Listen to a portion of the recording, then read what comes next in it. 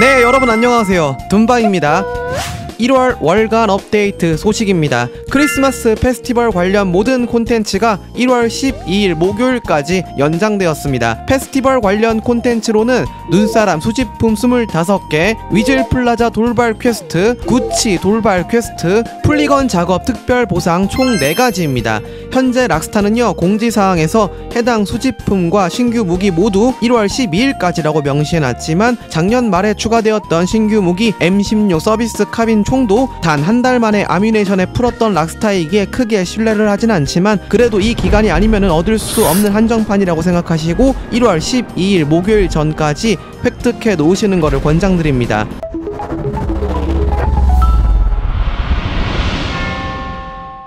이번 마약 전쟁 업데이트 모든 신규 차량은 12월 3주차 주간 업데이트 영상에서 보실 수 있고 올해 초 새롭게 선보일 GTA5 온라인 신규 콘텐츠는 12월 4주차 주간 업데이트 영상에서 보실 수 있습니다.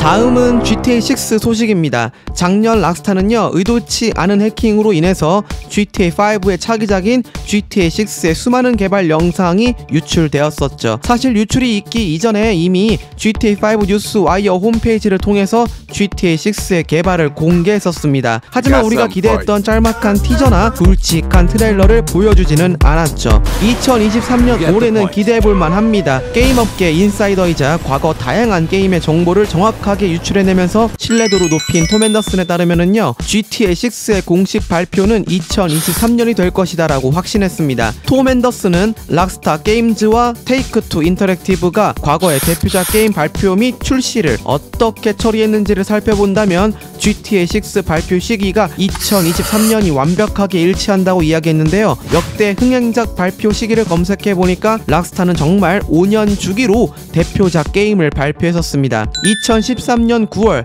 GTA 5, 2018년 10월 레드데드 리뎀션 2, 2023년 GTA 6가 될 것이라고 예상하는 거죠. 두 번째로는 테이크 투 인터랙티브의 2024년 회계 연도까지 복합 성장률은 14%고 이만한 성장 률을 이뤄낼 수 있는 게임은 오직 GTA 6뿐이라고 주장했습니다. FY24 기간이 2023년 4월부터 2024년 3월까지니 이 기간 안으로 GTA 6가 공식적으로 발표가 된다라는 거죠. 근거가 있는 아주 흥미로운 예측이라고 생각합니다. 위에 언급한 모든 내용은 락스타의 공식 발표가 아닌 게임업계 유출자들의 루머일 뿐입니다. 마지막으로 지난주 GTA5 온라인의 새로운 유형의 핵 원격 크래쉬가 출연했습니다. 태지형마저 도 이번 사태 해결 방법으로 방화벽 사용과 방화벽 관련 프로그램 사용법을 공유하고 있는데요. 한 가지 다행인 점은 락스타도 이 문제점에 대해서 심각성을 인지하고 있고 해결하기 위해서 부단히 노력하고 있다는 정보를 받았다고 합니다. 단 미국 근로기준법 주 40시간을 준수하기 위해서 주말에는 반드시 쉬어야 해서 며칠이 걸릴지는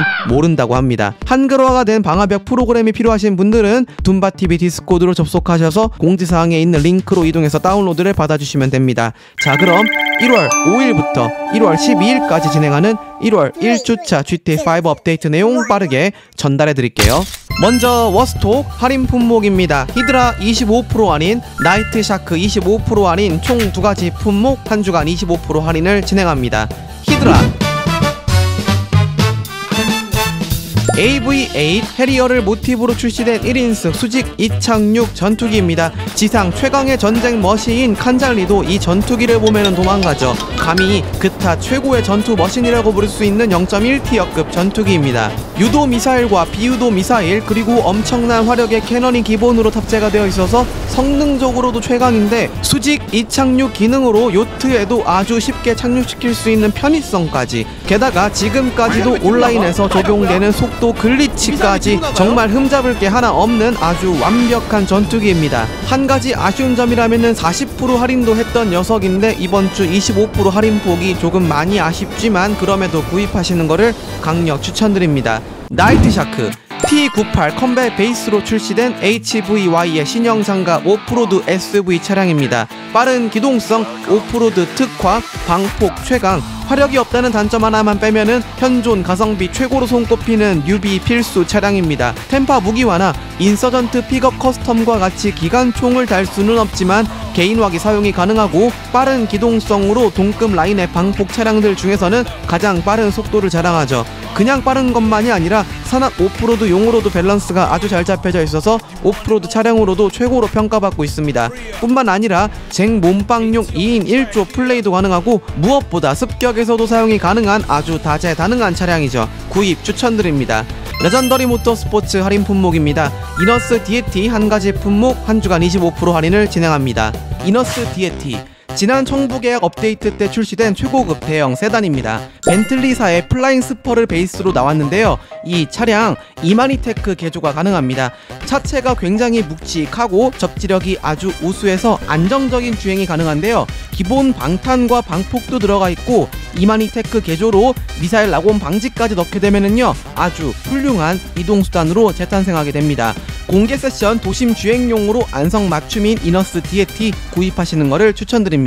Super Autos 할인 품목입니다. Bravado Buffalo STX 25% 할인, Mammoth Mil-Spec Patriot 25% 할인, 총 두 가지 품목 한 주간 25% 할인을 진행합니다. Bravado Buffalo STX 작년 청부 계약 업데이트 때 추가된 머슬카로 7세대 다치 차저 SRT 헬캐시 모티브 차량입니다. 청부 계약 차량답게 사무소 이동수단 작업실에서 Imani Tech 개조가 가능한 차량이라서 상대방의 미사일 lock-on을 방지할 수 있고 방탄 성능 또한 기본 차량들에 비해서 아주 우수한 편이죠.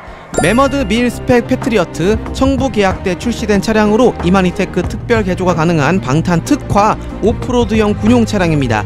사륜 구동답게 안전성만큼은 보장되지만 주행 속도는요 느린 편에 속합니다. 부동산 할인 소식입니다. 아파트 할인이 돌아왔습니다. 저급 아파트 제외 고급 아파트와 Stilt, 커스텀 아파트, 일반 차고까지 모두 35% 할인 중입니다. 아파트 부동산은 총 8채까지 보유가 가능하고 아파트마다 총 10대 차량을 보관할 수 있는 차고가 무상으로 제공되기 때문에 구매하시는 것을 추천드립니다. 습격 진행 시 소유한 아파트 위치에 따라 동선이 매우 짧아지는 장점도 있습니다. 바로 이 아파트가 1위에 등극한 가장 큰 이유 바로 정말 소름 돋는 해돋이 뷰가 있기 때문입니다. 직접 한번 보시죠.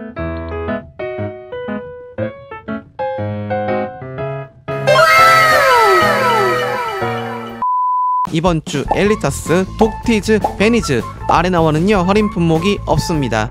달러 경험치 이벤트 안내해드릴게요. 초대 세션 3인 이상 혹은 공개 세션에서 랜덤으로 출연하는 자유 모드 달러 경험치 3배, Ron으로부터 걸려오는 전화 혹은 지도에서 노란색 R에서 시작할 수 있는 마약 전쟁 첫 투여 1에서 6단계 모든 임무 달러 경험치 2배, 락스타 작업 스턴트 레이스 탭에 있는 Issi Classic 달러 경험치 2배 이벤트를 한 주간 진행합니다. 카지노 Lucky Wheel 최고 보상이 Truffade Adder에서 HVY Insurgent로 변경되었습니다.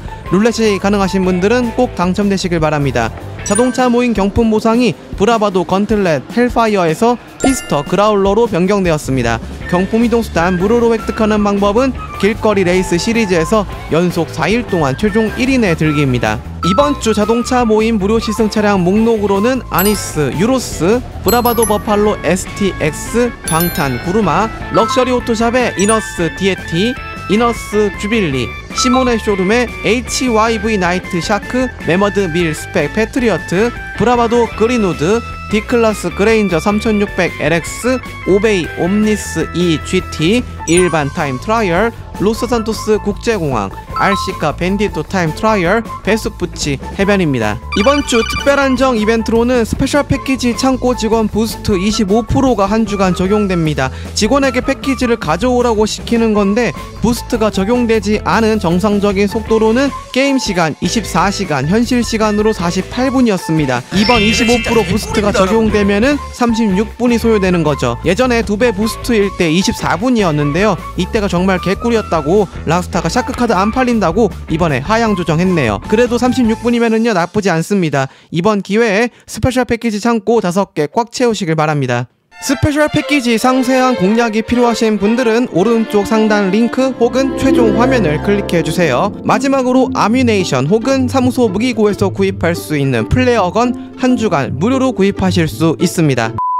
오늘 준비한 영상은 여기까지입니다. 영상이 도움이 되셨다면 좋아요 한 번씩만 꾹 눌러주세요. 유튜브 커뮤니티 신설 코너 GTA5 밸런스 게임 매주 하나씩 업로드되고 있습니다. 재미있는 의견 댓글로 많이 남겨주세요. GTA5 다양한 정보와 구인 구직 그리고 시청자 참여를 원하시는 분들은요 둠바TV 디스코드로 접속해서 최초 인증 버튼을 눌러주시면 됩니다. 인증이 되지 않는 분들은 상단 스태프 혹은 저한테 메시지를 보내주세요. 시청 감사합니다.